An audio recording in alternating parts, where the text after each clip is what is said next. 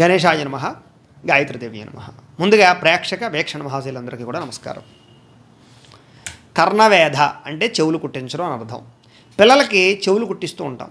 అందులోనూ ఆడపిల్లలకి ఖచ్చితంగా చెవులు కుట్టిస్తాం. అయితే మాలాంటి బ్రాహ్మణులలో ఉందనుకోండి అబ్బాయిలు కూడా మేము చెవులు కుట్టించుకుంటూ ఉంటాం. మాకు కూడా రింగులు ఉంటాయి. చిన్నపిల్లలకి మేము చెవులు కుట్టిస్తాం. మాకు ఉపనయన సంస్కారాలు అవి ఉంటాయి.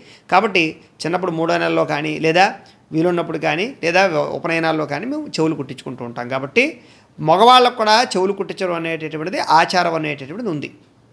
అయితే మగవాళ్ళు పక్కన పెట్టినట్లయితే కనుక ఆడవాళ్ళకి ఖచ్చితంగా చెవులు కుట్టిస్తూ ఉంటారు అందరూ కూడా. అయితే చిన్నప్పుడే చెవులు కుట్టించడం అనేటటువంటిది చాలా మంచిది. ఎందుకంటే వాళ్ళకి ఆ సమయంలో నొప్పి తెలియదు. దెబ్బ కూడా తొందరగా తగ్గిపోతుంది. దానివల్ల ఏమిటంటే కనుక పిల్లలకి చక్కని ఆయుష్ అది కూడా అభివృద్ధి అవుతుంది అని మనం చిన్నపిల్లలకి చెవులు కుట్టిస్తాం. అయితే ఈ చెవులు కుట్టించడానికి చిన్న చిన్న ముహూర్తాలకి బ్రాహ్మల దగ్గరికి వెళ్ళాలంటే ఇబ్బంది.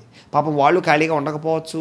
పెద్ద పెద్ద ముహూర్తాలు లేకపోతే పెళ్ళిలాంటి ముహూర్తాలు పెట్టడానికే వాళ్ళకి ఖాళీలు ఉండటం లేదు ఈ రోజుల్లో బ్రాహ్మణులకు కొంచెం అంటే అనేక రకాల శాస్త్రపు చదువుకున్నటువంటి బ్రాహ్మణులు తగ్గిపోతూ ఉన్న కారణం చేత పెద్ద పెద్ద ముహూర్తాలు కూడా ఖాళీ ఉండలేని పరిస్థితులు బ్రాహ్మణులు ఉంటూ ఉన్నారు ప్రస్తుత కాలంలో.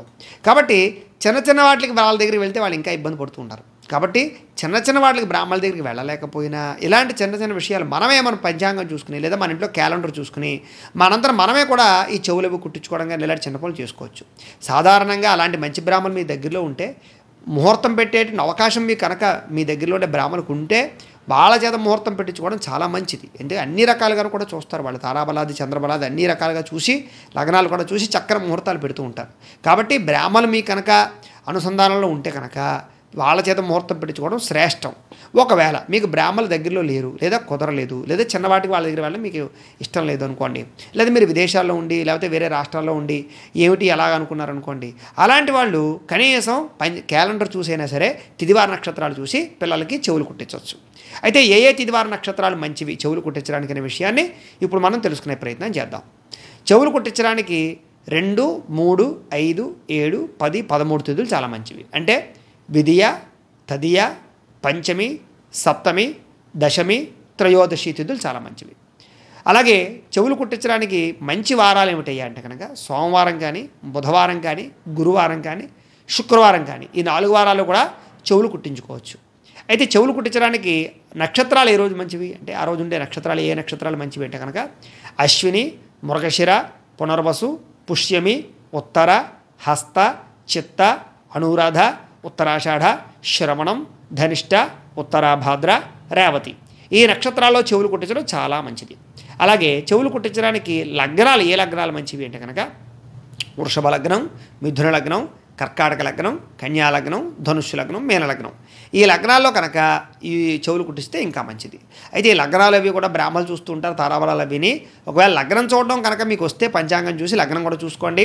మీకు లగ్నం చూడడం తెలియకపోతే మా వీడియోలో లగ్నం ఎలా చూడాలో కూడా ఆస్ట్రో గురూజీ తెలుగు అనే ఛానల్ ద్వారా మీకు జాతకాలు చెప్పి జ్యోతిష్యం పాఠాలు చెప్పేటప్పుడు అందులో లగ్నం ఎలా చూడాలో చెప్పాను. వీలుంటే ఆసక్తి ఉన్న వాళ్ళు చూడొచ్చు వీడియోలు. లేదా లగ్నం చూడడం మీకు రాకపోయినా తెలుసుకునే ఆసక్తి లేకపోయినా కూడా కనీసం మీ ఇంట్లో క్యాలెండర్లు ఉంటాయి.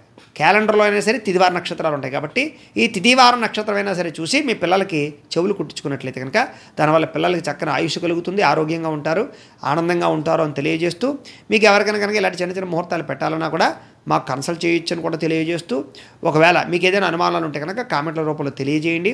ఈ వీడియో కనుక మీకు నచ్చినట్లయితే లైక్ చేయండి అందరికీ షేర్ చేయండి. ఇంకా ఎవరైనా ఛానల్ కనుక సబ్స్క్రైబ్ చేసుకోకుండా ఉన్నట్లయితే కనుక కాస్త సబ్స్క్రైబ్ కూడా చేసుకోవాల్సిందిగా మనస్ఫూర్తిగా ఆశిస్తూ గోబ్రాహ్మణేభ్య శుభమస్తు నిత్యం లోకా సమస్త సుఖినో భవంతు స్వస్తి. ప్రేక్షకులకి జాతక గోచార సమస్యలు పూజలు పరిహారాలకి సంబంధించి చిన్న మనవి. సమస్య లేని మానవుడు ఉండడు. సాక్షాత్తు భగవంతుడే మానవ అవతారం ఎత్తినా ఏదో రకమైనటువంటి సమస్య వస్తుంది. ఇక్కడ సమస్య రెండు రకాలు. ఒకటి మన శరీరానికి వచ్చే అనారోగ్య సమస్యలు. వీటికి మనం టెస్టింగ్లు స్కానింగ్లు రక్త పరీక్షలు చేయించుకుని మందేంటో తెలుసుకుని వైద్యం చేసుకుని నయం చేసుకుంటాం. ఇక రెండవది వ్యావహారిక సమస్యలు అంటే జాతక సమస్యలు అంటే విద్య ఉద్యోగం ప్రేమ వివాహం వ్యాపారం సంతానం ఐశ్వర్యం కోర్టు తగాదాలు ఇవన్నీ కూడా వ్యావహారిక సమస్యలు అంటే జాతక సమస్యలు. మరి వీటికి పరిష్కారం ఎలా?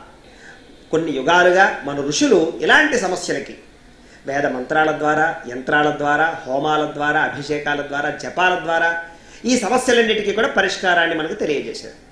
వీటిని అనుసరిస్తూ మేము కూడా ఆంధ్రప్రదేశ్ తూర్పుగోదావరి జిల్లా రాయవరం మండలం తులియ భాగా నదీ తీరంలో వేయించేసి ఉన్నటువంటి వెదురుపాక గ్రామంలో కంచి జయేంద్ర విజయేంద్ర సరస్వతి స్వాములు వారు ప్రతిష్ఠించినటువంటి గాయత్రి పీఠంలో వేద పండితుల యొక్క సహకారంతో ఇలాంటి సమస్యలన్నిటికీ కూడా మేము కూడా ఈ యొక్క జపాలని మండపారాధనలు అలాగే తర్పణాలు అభిషేకాలు హోమాలు పారాయణలు ఇలాంటి కార్యక్రమాలన్నీ చేసి ఈ సమస్యలన్నిటికీ కూడా పరిష్కారాలను చేయిస్తూ ఉంటాం.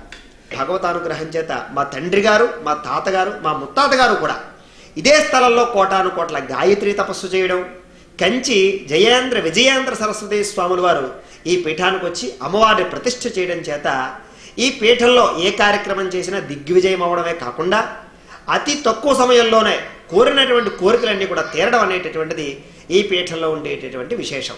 అయితే చిన్న చిన్న సమస్యలకి భగవంతుడు మనకి ఇచ్చినటువంటి శక్తిని ఉపయోగించి వాటిని ఎదుర్కోవాలి. అయినా సరే తీరని ఏదైనా పెద్ద పెద్ద సమస్యలు ఉంటే మాత్రమే మాలాంటి వాళ్ళకి ఫోన్ చేసి ఇలాంటి పూజలు పరిహారాలు చేయించుకోవాలని తెలియజేస్తూ స్వస్తి. మేము పెట్టే వీడియోలు ప్రతిరోజు మీరు పొందడానికి సబ్స్క్రైబ్ బటన్ను క్లిక్ చేయండి. అదేవిధంగా పక్కన ఉన్న బెల్ ఐకాన్ను క్లిక్ చేయడం ద్వారా మీరు నోటిఫికేషన్ కూడా పొందవచ్చు.